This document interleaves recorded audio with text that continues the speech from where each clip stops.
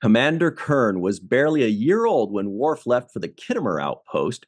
Kahlest resides in the old quarter of the first city, and Captain Picard gives the very first F around and find out, Star Trek style. Hello, everybody, and welcome to the seventh rule with Cirroc Lofton.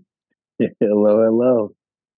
My name is Ryan T. Husk, and today we're doing a review of Star Trek The Next Generation. You may have heard of it. Season 3, Episode 17 Sins of the Father, written by Ronald D. Moore and W. Reed Moran, directed by Cirroc's buddy, Mr. Les Landau. We want to give a very mm-hmm. special thanks to Dr. Brenda Custodio for sponsoring this episode. Thank you very much, Dr. Brenda Custodio. You are awesome.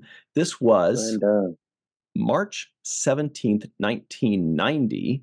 Can you believe it? It's episode 317, which aired on the date 317. What luck. How are you today, Cirroc? Oh, yeah. How about that? Yeah. the yeah, the numerology is great. Uh, I'm doing good. I'm doing good. So, first things first, I definitely thought of you often Ryan thought of Cirroc when Kurn showed up. Did you recognize your old self, old Jake Sisko? Yeah, not right away. Not right away. It took me a second. I was at first. I'm like, I know this actor. He's really tall. Uh, he was more lean at that time. You know, just slimmer. Very. And he looked so much younger. He did. He did. So it was a little bit difficult for me to recognize. In the beginning, I have to admit, I thought it was an actor named Leon, who's a pretty famous actor in the in the black movie world. And Leon was not Leon in Lett, above, right? No, Leon was in Above the Rim. He was in the Five Heartbeats. He, he, he's one of the great. He had a great run at, at a certain point in time one of the uh, great black actors in in the business, and um, I was a big fan of his. So at first, I thought it was Leon, and as I was watching, I started to look at the faces. That's not quite Leon, you know. There's there's some aspects there, but it wasn't him, and that's when I really looked in. I said, "Is that Tony Todd? the Tony Todd?" So yeah, that was a that was a pleasant surprise right there. Yeah, Tony Todd. Leon. Everybody knows, of course, Leon Lett lives in Dallas Cowboys infamy. Um, he's got some. He had some problems in the playoffs way back in the day. Oh yeah, lineman. Yeah. Um, but this episode is a very good and very popular and very famous episode. This is the first time we see the Klingon homeworld. Um, mm-hmm. That's why was it Michael Piller gave big kudos to the uh, production design and art department for really creating this. He gave big kudos to Marv Rush, Marvin Rush, for you know really getting this lighting and these angles right, and uh, really kind of creating the Klingon homeworld and making it iconic. What did you think overall, Cirroc, of like the look and the feel and the shots and all that? Because there was a lot to bite into. Yeah, um, you know, I, I picked up a lot of that too. You know, from the from certain moments, for example, when Worf comes into his brother's quarters, um, he asks him, "Is your quarters just discomfortable or something to that effect?" Right? Yeah. Uh, like you little softy, you know. Um, the way he was, but in that moment, in that scene, he didn't have the lights on in his quarters, the brother, and so the the lighting was really dark in his quarters and he kind of sat down into a nice soft lighting that accentuated his his his outfit and put uh, the, also the softness of his skin tone so we were able to actually see his face but mm. there were moments in that shot where he was completely it was so dark you could barely see his his face as he was walking around until he sat down into the light so that immediately let me know okay they're setting a, um, a lighting trend yes for this character right there's a level of darkness and ominous mood that comes in for this particular character which i thought was a nice uh, touch for uh, the brother what was the brother's name Kurn Kurn, yeah. If you'll recall, Kurn came back later in Deep Space Nine when he asked his brother Worf to kill him. And yeah. there was that big discussion about, you know, Worf saying, This is our custom. I should be allowed to kill my brother, you know, like Jack Kevorkian style, but with a mek'leth or something, some kind of Klingon knife. And mm-hmm. Was like, That may be your custom, but mm-hmm. it is mm-hmm. not our custom, which really created a very interesting discussion and thought process of, well, if a Klingon's custom is is this, but they're in Federation space or they're on a Federation space station or he's a Federation Starfleet officer, does do his customs override the customs of where he resides or where he works? So that was really interesting. But anyway, that was the same character. That was Kurn a few mm-hmm. years later. and interestingly enough, that same debate was brought up in this episode as well. There were moments yep. there, for example, where Picard towards the end says, "I will not allow an officer of my ship to be, um, you know, killed because of this rule." So he, all of a sudden, the umbrella changed. He went from, "Okay, I'm cool with the customs. I will play along. I'm his sidekick," to, "All right, no, I'm the captain of the Enterprise and." Now we're I'm putting a different hat on, and this hat is saying you can't kill this guy. I thought that was um, they, they brought up this yeah. going back and forth between respecting somebody's customs and also federation supersedes my uh, my duty as a federation officer supersedes whatever this custom is about to do and that is interesting you're right because that is a different situation in that if they were on a Federation ship, we could say, okay, that's the same as Deep Space Nine, where he says, not on my ship, not on my watch. Mm-hmm. But Picard is out there amongst billions yeah. of people that could beat him up. and, yeah. And already don't like him or don't trust him. And he's going like, nope. And they're like, who the are you? What do you mean, nope? Nope. I'm nope, not on my watch. They're like, get this clown out of here. but that was yeah, a pretty ballsy yeah. move. By the way, the F around and find out. I can say it now, fuck around and find out. Didn't want to say it in the opening. Was one of the greatest lines ever written in Star Trek. And let's see if I can find it. Yes, the uh, Duras says, keep your place, Picard. Picard says, This is my place. Very good. Mm-hmm. Uh, Duras good says, You do not command here. And Picard says, I'm not here to command. And Duras then says, Then you must be ready to fight, something Starfleet does not teach you. And Picard drops his whatever on the table, basically, and says, yeah. You may test that assumption at your convenience. And I'm like, that's the very yeah. first FAFO, right? you may test that assumption at your convenience. And everybody's like, wow, Picard, I didn't know you had it in you. But uh, that was yeah. a very fun line. Great line. Yeah. Um, that was a fun line.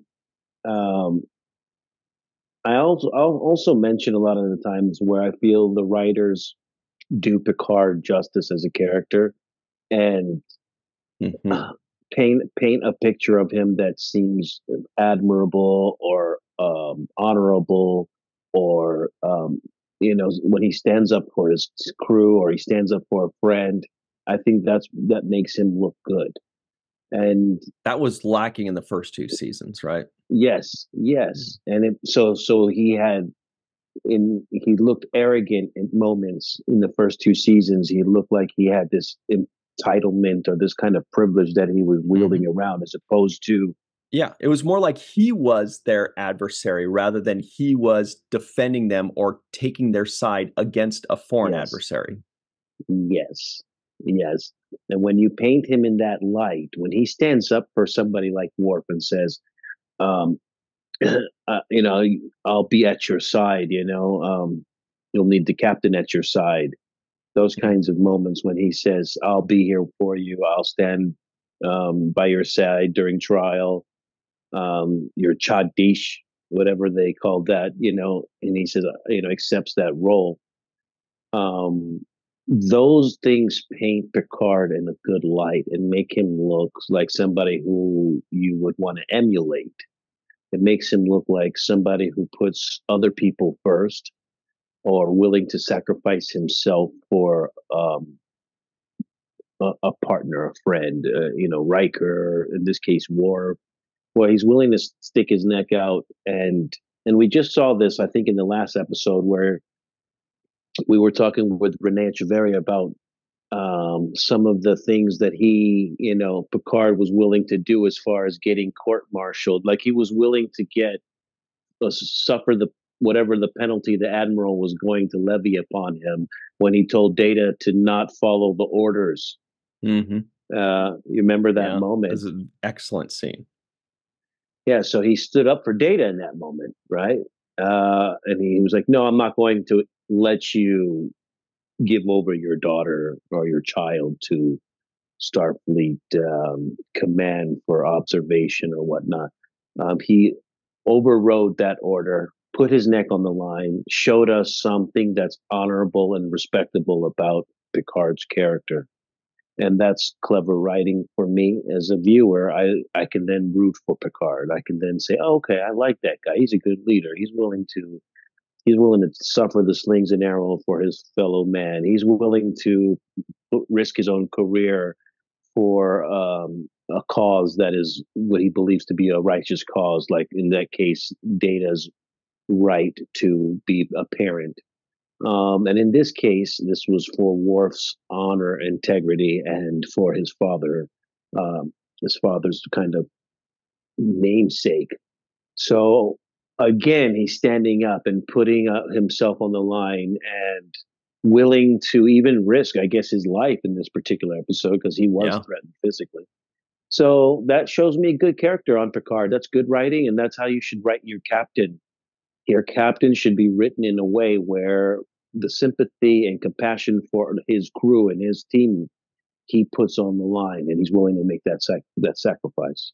Yeah, and just to take uh, those compliments a couple steps further as well, it's it's one thing to be able to you know conceptualize this and say let's put uh, Picard on the on the right side of whatever the battle is, rather than him being the adversary. You know, he's doing these honorable things. But what really makes it work and, and makes it believable is is great dialogue, and they're writing great dialogue. You know, they're, that that's what makes it believable. Otherwise, it's it's a great attempt but that's mm-hmm. you know but they really see it through with with excellent dialogue and, and believable dialogue. And then of course a lot of it is that it is patrick stewart too. He you could tell he's given lines that he's more comfortable with now. He delivers these i don't want to you know i don't want to say in a more believable way but when i'm watching him deliver these lines today for example they seem to fit and to flow and to be more natural with him and who he is than the ones in the first season. The first season being super rigid. Okay, he's playing it off. He's working it. He's acting it. That's cool. That's great. But these seem to really be natural fits for him. I feel like this is a very they're they're comfortable lines that he can do a lot with. And so just big, big uh big kudos, lots of flowers to the writers for that. I thought that was very Absolutely. well done, uh, and they're they're doing and, a, a lot this third season. And one other thing that needs to be kind of highlighted is these guest stars in this episode were fantastic. Yeah, fantastic. Tony Todd comes on right away as Kurn, and he you could feel his ominous presence right away. He's mm-hmm. like, "I'm in control. I'm in charge." Um, I'm the number one. Even even there were looks like Riker's like, uh, I'll sit over here in the uh, in the Troi seat if you don't mind. in the submissive seat. Talk yeah, about my he feelings. Had that look, he had that look where it was like, uh, I see who the boss is around here. And even when he approached him in that elevator scene or in that in that you know in that scene, he kind of was like, "Hey, can I offer you a suggestion?" And I thought again, Tony Todd was magnificent because you could just feel the tension there. You could feel his disapproval. Um, and that whole line he gives was the best line. I was one of the, my, my favorite lines when he says, uh,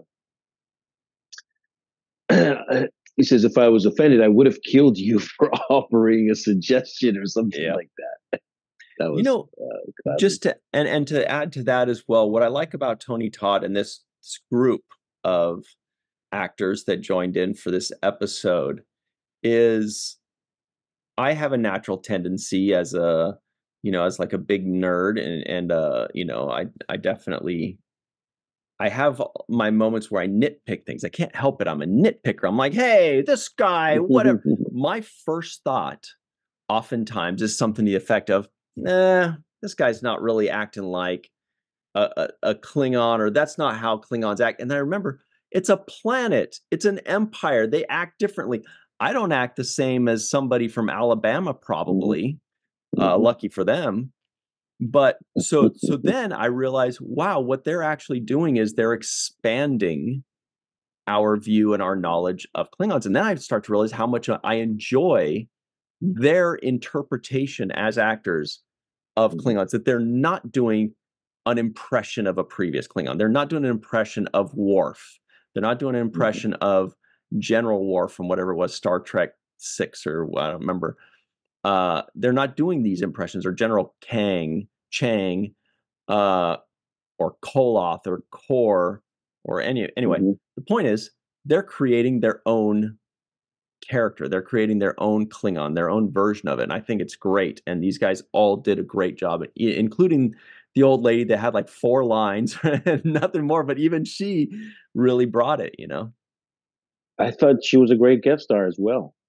Um, that whole line where she just keeps repeating, I am dead to Picard, you know, I'm dead.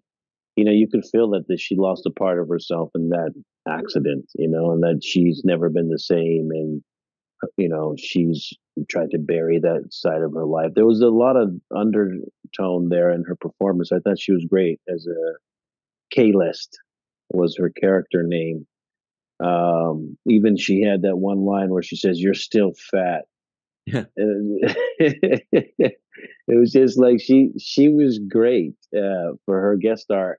My also one of my favorites was the one who played this Klingon High Council, the K'mpec actor. Mm-hmm. I thought I thought the scene where he takes Worf to the side and just basically says, "Hey, man, just you know, let it go," and you know, no nobody will look, to, you know, disrespect you or look down on you if you don't show up tomorrow or something like that. There was a genuine um, connection there. I felt there was a real. I felt real sympathy, a real. He was really talking to him in a heart to heart kind of way. I felt, and it seemed authentic, and I loved the performance that the actor gave in that particular uh, kind of heart to heart moment that he gave with Worf. I thought it was great. Yeah, his name is Charles Cooper, and uh, he was also in Star Trek Five: The Final Frontier. He played Korrd. Two R's in that name, Korrd. So mm-hmm. uh, he's definitely an older actor. Man, he was born in 1926 uh, in San Francisco you know, a very accomplished actor uh, there. So yeah. Now back to this episode here. This was there. There were a lot of really heavy, heavy implications here, where they're saying, I mean, the main thing is Worf, you are the fall guy for to keep the empire together.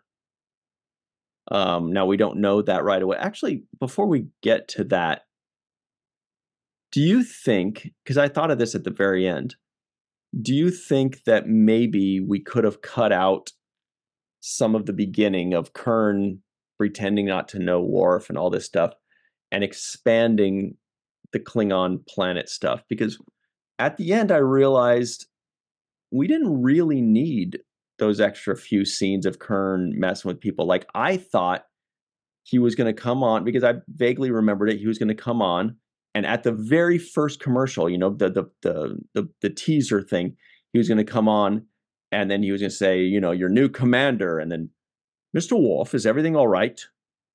Do you know him, Mister Worf? That is my brother, Kurn. And then commercial, or or Kurn would say it, or something. And then we jump over. But they did all this extra stuff. I guess it works. It was cool. It was fine. But I just couldn't help but wonder if we could have had more, use these sets more and use these actors more and just kind of immerse ourselves more into the Klingon homeworld. Um, yes, yes, but I guess you know, you know, I would say they were trying to take us and throw us for a loop and have mm-hmm. us like you know that the, the goal was you know you think it's going this way and then boom it, it, it, makes this right turn. And i guess they did accomplish that because when he first comes on um i didn't know he was just the brother right? So that's one you know loop they throw us for. And then you don't know that he's the brother and he's also there for to tell Worf about you know the father being accused as a traitor. So um, that's good writing for me because I, mm-hmm. I, I don't want to know where the story is going. I, I like that it's. They also piggybacked on the fact that we had previously seen Riker uh, on the Klingon ship a few episodes or last season, I think, you know, where he was on board that Klingon ship and had to take control and command of that ship when it was necessary. So um, that's also a good callback writing wise. Like, hey, rem- remember that episode we watched? Um, this is the reverse of that. Instead of Riker being the exchange student, you know, person, it's now we're returning the favor and, and taking in uh, Klingon exchange student. Um, but it but it did seem uh, what did seem unusual to me, and I'm sure this would have seemed unusual as well in the episode that we saw with Riker, was you're going to let some Klingon exchange student be the number one in command? Like, he's like, I can understand being like somewhere like the number three or lower. Well, he was number, number, he was number two, just like Riker was on their ship. Yeah, so, yeah. So yeah, that was, I that mean, was that's pretty like, hefty. So yeah. he's the number one, right? Yeah, Riker's exactly. the number one essentially after the captain. Yeah, you're right. So yeah. he's he's basically put into the number one role, which to me is a little bit too much, like just handing over your your stealth jet over to you know your adversary or you know i don't know yeah. about that i think it's a little bit too much power to give to an exchange student but um, for the sake of the story i guess it made a little it made some sense because it did show he was running a really ship, a tight ship. You see, Wesley was sitting up straight, like he didn't want to even arch his back around the. Yeah, did you see how he, he called out Wes, but not Data? They were both snickerdoodling yeah. together. They're both like, tee hee, look at the Klingon. His boots are stinky, aren't they? Oh, and then they pull away and he's like, Wesley. And Data's like, oh, I'm just sitting here scanning for life forms, making a life form song. No big deal. Doing my own thing. Sorry, Wes. Wesley's like, I'm just sitting up straight. I'm not doing anything bad. Yeah. I mean, it, it, was it was funny. Um, and then I didn't even get the whole um, asteroid back and forth between Kurn and Worf, where he's like, "So then there we didn't need to avoid the asteroids, did we?" It was like, and then Worf gets all mad, like, "Hmm." Like, I, come on, I didn't get that little exchange. Uh, to me, there would be more blunt and direct as Klingons if there was some beef between them. They would just say, "Why are you pressing the buttons like that? You you know, are you soft?" Something direct. Yeah. Well, hey, I guess we didn't have to avoid the asteroids. It was a very like, come on, like it was a uh, soft comeback for a Klingon. it, for a Klingon, yeah. Uh, yeah. We'll talk about that more for sure. Uh, let's jump into our break because I want to make fun of Wes too. No, I'm just kidding. kind of. Uh, we'll be right back on the seventh rule.